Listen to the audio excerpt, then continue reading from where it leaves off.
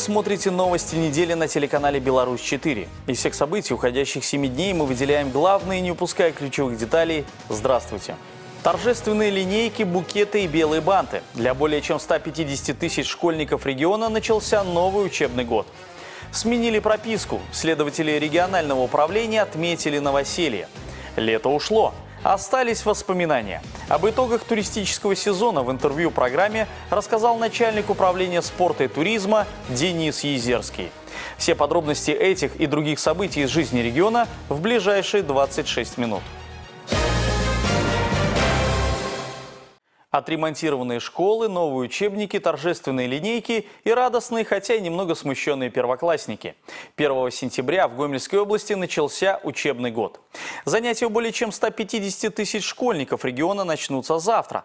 А пока встречи с учителями, рассказы о летнем отдыхе и первый урок, посвященный малой родине. Наши корреспонденты приняли участие в праздничных мероприятиях, прошедших в рамках Дня знаний 2018. На торжественной линейке во второй средней школе Турова около 170 учащихся. Для кого-то этот учебный год первый, для кого-то последний. У одиннадцатиклассников впереди еще несколько месяцев совместных уроков. Думать о расставании с теми, с кем сидел за одной партой, пока не хочется. Классный руководитель Алексей Мороз говорит, что рад быть наставником в таком коллективе. За годы, значит, э, общения с учащимися мы срослись, скажем так, вместе. То есть, ну, второй, у кого-то вторая мама, если классный руководитель, а я им второй папа. Вот. Я думаю, что они также считают, как и я. Эта линейка ученикам и преподавателям второй Туровской средней школы запомнится надолго. Среди почетных гостей премьер-министра Беларуси Сергей Румас. Его приезд именно в эту школу не случайен. 42 года назад будущий руководитель правительства пришел сюда в первый класс. И хотя проучился в Турове Сергей Румас всего год, однако из сегодня это время вспоминает с теплотой. Я даже не знаю, у кого тогда был телевизор. И дети проводили больше времени на улице, зато росли здоровыми, э, ловили рыбу, гоняли в футбол. Поэтому воспоминания очень хорошие. И каждый год, бывая в Турове, я вижу, как благодаря усилиям местных властей Туров преображается. Конечно, толчок дал и Туровский молочный комбинат. Э, и я горд тем, что приложил руку к тому, что в на моей малой родине в трехтысячном Турове построено самое крупное в Республике Беларусь предприятие по производству сыров. В качестве подарков от премьер-министра сертификаты на интерактивную доску и спортивный инвентарь. И еще один подарок – компьютерный класс от председателя Гомельского облсполкома Владимира Дворника. Условия получения образования должны быть равными для всех. Это принципиальная позиция руководителя региона. Еще одно направление, которому в этом году уделялось повышенное внимание – качественное питание в школах. Если мы прошлые годы имели проблему по питанию, то в этом году полностью вложили огромные средства, заменили все то, что было старое у нас. И в этом году полностью все питание передали на управление образования. То есть сегодня самый главный руководитель, директор школы, он будет смотреть не только за учебным процессом, но и за тем, как сегодня питаются наши дети. И я думаю, что в этом направлении мы ситуацию резко изменим. Улетающие в небо воздушные шары и первый в этом году школьный звонок. Ученики уходят в классы. В этот день в расписании всего один урок, посвященный году Малой Родины. На улице задерживаются только гости и первоклассники с родителями. Вместе они сажают пихтовую аллею первоклассника. Через 11 лет нынешние малыши придут сюда во время своего выпускного. Вторая Туровская школа сравнительно небольшая, всего 168 учеников. Хотя, по мнению учителей, у такой комплектности есть преимущество – возможность дать действительно качественные знания. Для детей это очень хорошо, потому что есть возможность у учителя каждого ученика каждый день, каждый урок опросить, проверить его знания, обратная связь. Если есть какие-то недостатки выявляются в работе или, точнее, в знаниях учащихся, их можно ликвидировать, потому что меньше детей и больше внимания и времени можно уделить каждому ребенку персонально. Это только плюс. Эта школа в деревне Столбун Ветковского района находилась на реконструкции несколько лет. Учащимся приходилось ездить в соседние Светиловичи. Расстояние в 9 километров не было серьезным препятствием. Однако и учителя, и ученики цитируют известную пословицу «В гостях хорошо, а дома лучше». После реконструкции, на которую было потрачено около 3 миллионов рублей, школа изменилась до неузнаваемости. Традиционный школьный звонок, перерезание ленты и первыми порог школы переступают самые маленькие ее ученики. Всего за парты сядут около 80 детей. Для них созданы необходимые условия, соответствующие современным стандартам. Новые учебные классы, мебель, спортивный зал и столовая. Можно смело говорить, что Столбунская школа ничем не уступает городским. В том плане, что год объявлен президентом «Год малой Родины», то это символично для наших э, жителей сельской местности получить в подарок такой объект. Поэтому самое главное, чтобы наши дети э, учились достойно, чтобы они понимали, что делает для них государство. Торжественными линейками начала нового учебного года встретили не только школьники. 1 сентября – важный день и для нынешних первокурсников. У этих молодых и амбициозных людей 11 ступеней школьной жизни уже за плечами. Теперь они полноправные студенты одного из престижных вузов страны – Гомельского государственного университета имени Франциска Скорины. И, кажется, волноваться уже не о чем, но торжество момента обязывает. Поддержать первокурсников в такой ответственный день собрались руководители и преподаватели вуза, а также почетные гости. В их числе заместитель премьер-министра Республики Беларусь Игорь Лешенко. В прошлом выпускник экономического факультета ГГУ. Самая сильная эмоция – это, конечно, вспомнить то, что было чуть больше 20 лет назад. Защемило сердце. Приятно видеть, конечно, лица первокурсника. Видно, что ребята, которые пришли сюда учиться, ребята своим умом прошли вот тот школьный путь и со смысленными лицами, желанием готовиться к учебному процессу. Пользуясь случаем, хочется им пожелать ни минуты не терять в своем образовании, не считать, что есть хоть одна лишняя специальность. Я как человек, который уже побыл руководителем предприятия и отрасли, и вот сегодня работаю в правительстве, я скажу, что катастрофически еще не хватает знаний. Поэтому в своей речи к первокурсникам я абсолютно откровенно сказал, что этот процесс, он бесконечен. Олег Сенсюров, Ольга Коновалова, Евгений Макенко, Валерий Гапанько, Павел Антонов. Новости недели. Юбилейный 25-й день белорусской письменности проходит сегодня в городе Иваново Брестской области. Праздник в этом году посвящен теме Малой Родины. Он не случайно проводится в нашей стране в первые дни нового учебного года. Образование, информация и культура – отрасли, которые формируют интеллектуальную элиту нации, ее настоящее и будущее. А сейчас о событиях, которыми была отмечена эта неделя в нашем регионе. Обзор от службы информации.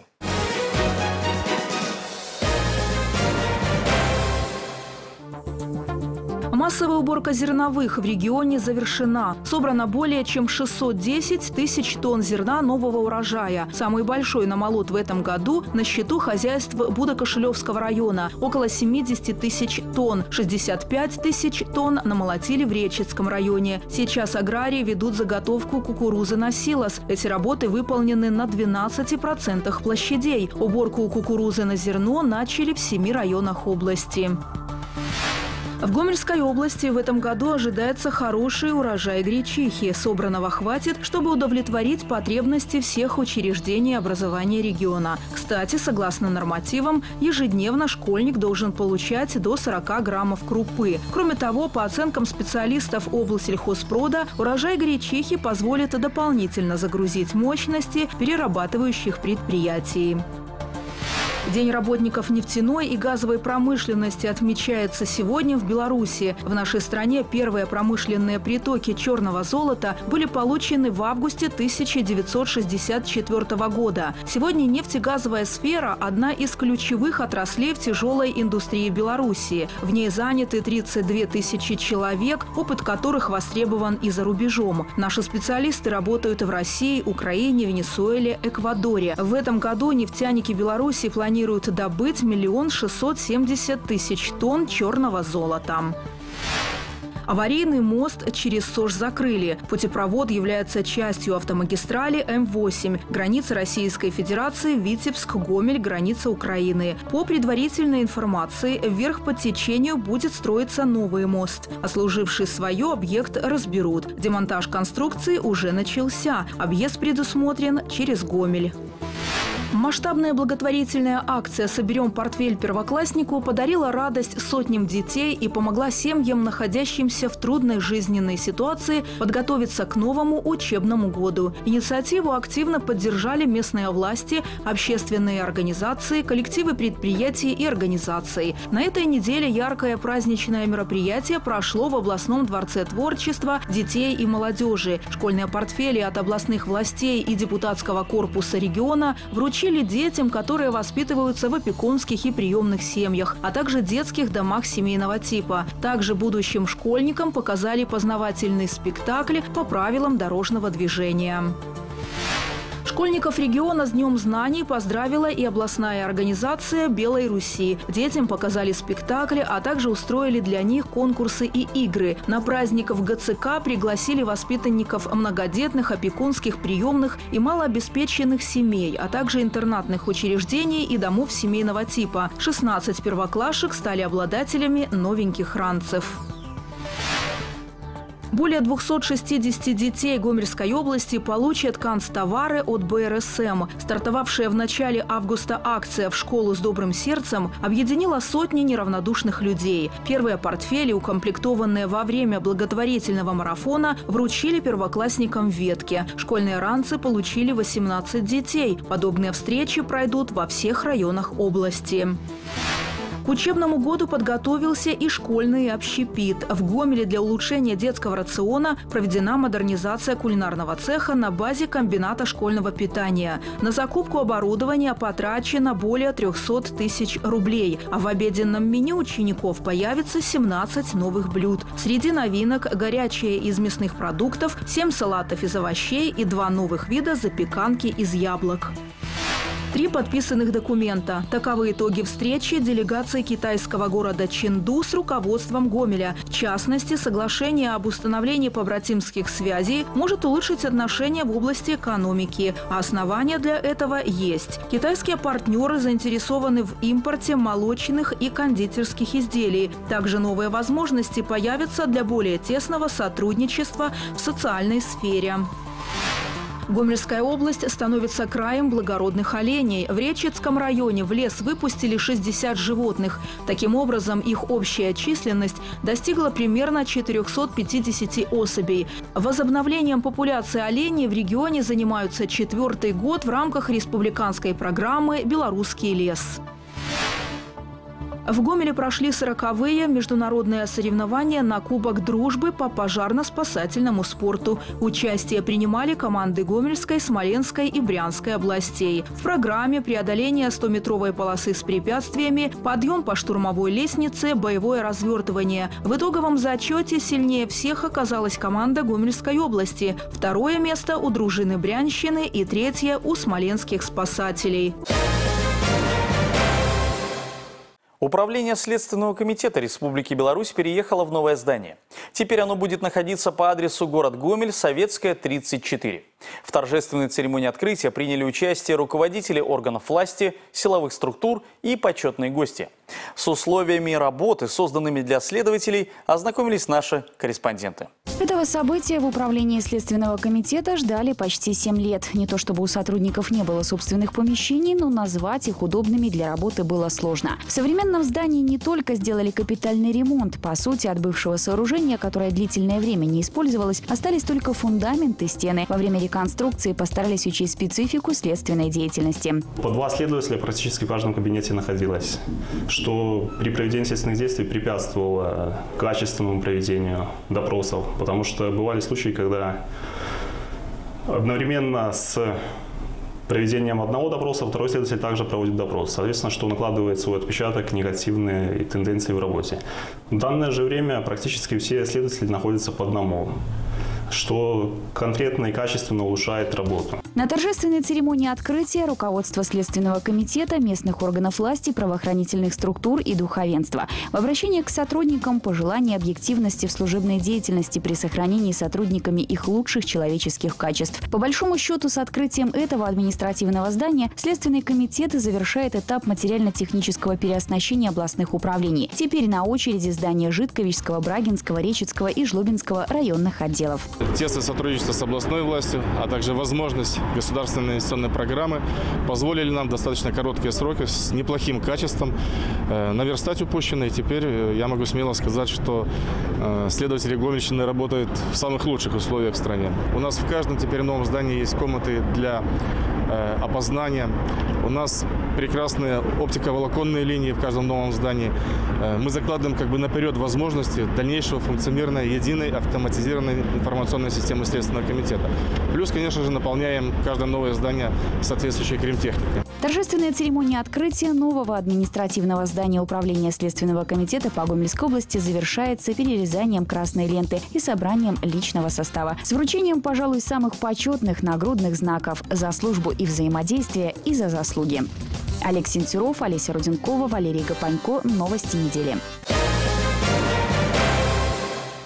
Первозданная природа, историко-культурное наследие, агроусадьбы, санатории, заказники и музеи. Все это за исключением, правда, морского побережья запросто можно найти в Гомельской области. Индустрия гостеприимства активно развивается в регионе. И дело не только в доходной части. Давно известно, туризм формирует имидж городов и даже государств. Каким выдался летний туристический сезон для Гомельской области и что нужно обязательно учесть при планировании отдыха? Об этом в интервью программе рассказал начальник управления спорта и туризма Гомельского облсполкома Денис Езерский.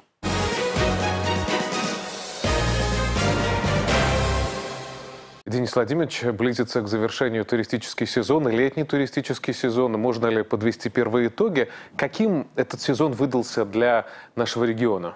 Я думаю, что предварительно уже можно говорить о том, что полугодие и вот э, август месяц довольно-таки успешен для э, туристической инфраструктуры и для э, того бизнеса, который сегодня в этом направлении у нас развивается. Если говорить в цифрах, по оперативной информации, которую еженедельно, ежемесячно анализирует и собирает Управление спорта и туризма всеми экспортерами Гомельской области заработано где-то э, 9,5 миллионов долларов. Э, Это уже э, где-то 76% от годового плана. Э, И можно говорить о том, что э, загрузка наших санаториев в летний период и первое полугодие было довольно-таки э, неплохой. Ну, это и понятно. Э, Были закончены ремонты, которые были прошлые годы, проходили Э, довольно-таки серьезно по медицинской базе. Наши санатории поднялись, поэтому они открылись опять для посещения и по количеству койко-мест, и по качеству предоставляемых услуг. Э, э, Сегодня э, они стали опять интересны. Это тоже своеобразную лепту внесло. Ну и надо также говорить о том, что не уменьшилось количество туристов иностранных. Их выросло не только потому, что погода благоприятствовала этому, но и те нововведения, которые были приняты в Республике Это вы про Беларусь. безвизовый режим? Я сейчас говорю в том числе и о безвизовом режиме, увеличение его с 5 до 30 дней. Э, Я думаю, что и это также в дальнейшем будет положительно влиять. Э, Ну, э, опять же, это откроет дополнительные возможности для наших санаториев которые смогут теперь работать с Прибалтийским регионом, э, с Польшей, со странами э, постсоветского лагеря, с которыми у нас есть э, какие-то хорошие отношения, они помнят о той базе, которая была э, здесь, в Республике Беларусь, и э, будут, конечно, выбирать в том числе и наш регион для своего отдыха. Ну и те направления, на которые мы сделали ставку, они сегодня оправданы. Я сейчас говорю о спортивном туризме, о организации соревнований учебно-тренировочных сборов для иностранных команд. Это И база тоже- для этого создана в регионе. Абсолютно серьезная. верно. Мы э, довольно-таки э, неплохо в этом направлении работаем. И я хочу э, к чести э, отметить учреждений, которые в этом направлении работают, о том уровне сервиса, который они достигли, о тех возможностях, которые они сегодня готовы иностранным спортсменам предоставлять. И то, что сегодня количество сборов увеличивается иностранных спортсменов, мы это видим. И сегодня это уже не пару дней, это уже месяцы. И э, я только один пример приведу. Сегодня э, Центр Олимпийского резерва Жлобина э, продает путевки в Ленинградской области и Санкт-Петербурге наравне со здравницами России.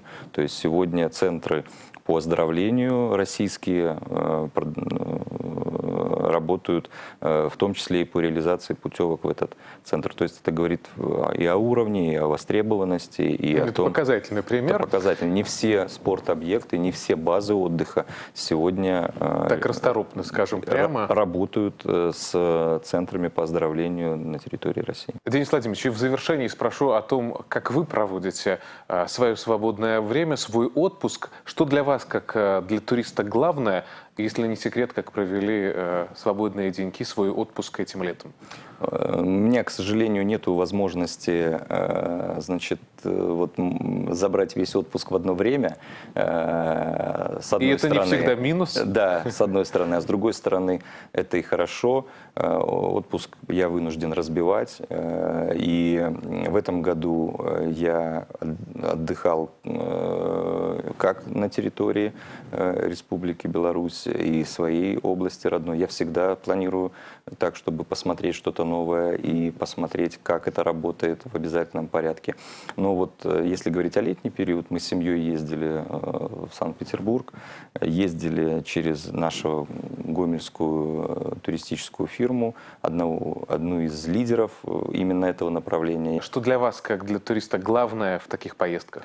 Э, для меня э, главное, чтобы было комфортно и безопасно, чтобы э, моя семья получала тот отдых, чтобы мы могли отключиться от работы, да, то есть и посвятить время друг другу. Вот если в отдыхе это удается, то считайте отдых удался, и когда ты возвращаешься с отдыха, выходишь на работу, у тебя прилив энергии, сил, и ты с удовольствием э, погружаешься в работу, поверьте, э, это того стоит, потому что ты можешь сделать больше, ты можешь сделать лучше, тебе хочется делать. Будем расценивать э, эти слова как хороший мотиватор для тех, кто делает туризм здесь, в Гомельской области. Спасибо за это интервью Вам и спасибо. до встречи в эфире. Удачи. А теперь к новостям культуры. На этой неделе в республиканский прокат вышел фильм Дарьи Жук «Хрусталь». Он уже получил ряд престижных наград и теперь приглашен на более чем 20 кинофестивалей по всему миру. Картину увидели в десятках городов Беларуси. Правда, в Гомельской области киносеансы начнутся только 20 сентября. А чем порадовала уходящая неделя жителей и гостей нашего региона, расскажет культурный обозреватель Вероника Ворошилина. В Гомеле бережно хранят уникальную живописную коллекцию народного художника Республики Беларусь Гавриила Ващенко. В галерее, которая с гордостью носит его имя, под бесценные экспонаты знаменитого мастера, а также творческие работы его учеников, коллег и друзей, почти все лето были отведены выставочные залы учреждения. Сейчас здесь объявлен конкурс памяти Гавриила Харитоновича, который призван пополнить богатое культурное наследие новыми произведениями современного белорусского искусства искусства. Участие в нем могут принять художники, имеющие профессиональное художественное образование со всей Гомельской области. Для этого необходимо предоставить в картинную галерею свои живописные и графические работы. Единственное условие – эти произведения должны быть созданы в 2018 году. Конкурс А.В. Айшина памяти народного художника Республики Беларусь Гаврила Ващенко проводится в рамках мероприятий, посвященных году Малой Родины. Он направлен на сохранение и популяризацию традиций белорусского изобразительного искусства, а также пополнение основного фонда фонда галереи. Работы принимаются до 2 декабря по улице Карповича 4 в Гомеле. Более подробную информацию можно узнать на сайте учреждения.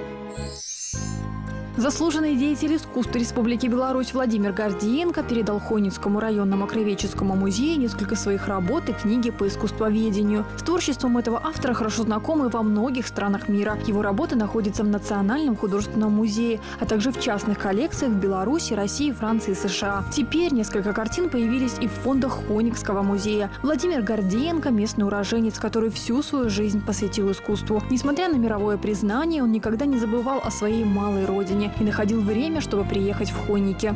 Работа над многими картинами художника вызвана личными переживаниями, так как они посвящены воспоминаниям о родных сердцу местах.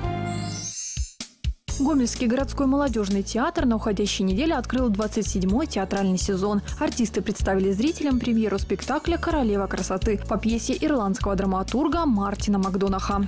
Режиссер постановки, хорошо известный гомельчанам по успешной работе «Метод» Виталь Кравченко. Его новый премьерный спектакль рассказывает о жестком противостоянии двух родных людей. По сюжету за свое женское счастье воюют старая беспомощная мать и ее одинокая дочь. У обеих героинь пылкий темперамент, а потому в ход идут любые средства. Как ни странно, но за всем этим кроется глубокая история, рассказанная о любви и с любовью к людям. Чем порадует следующая неделя, узнаем прямо сейчас. В картинной галерее Гавриила Ващенко откроется сразу два интересных выставочных проекта. Вниманию посетителей будут представлены дипломные работы 2018 года выпускников Гомельского художественного колледжа, а также произведения участников и победителей областного конкурса творчества молодых художников «Продвижение». Мероприятие обещает порадовать как истинных ценителей традиционного изобразительного искусства, так и любителей новаторских идей идей. А тем временем Дворец культуры металлургов в Жлобине на следующей неделе приглашает детей и их родителей отправиться в сказочное путешествие-квест под названием «Приключения Красной Шапочки». Юных гостей праздника ждут интерактивные площадки и приятные сюрпризы. С самыми интересными культурными событиями региона вас Вероника Ворошилина и Евгений Макеенко. Обзор подготовлен специально для программы «Новости недели». На этом у меня все. Мы встретимся вновь в следующее воскресенье, чтобы вместе подвести итоги недели. До свидания.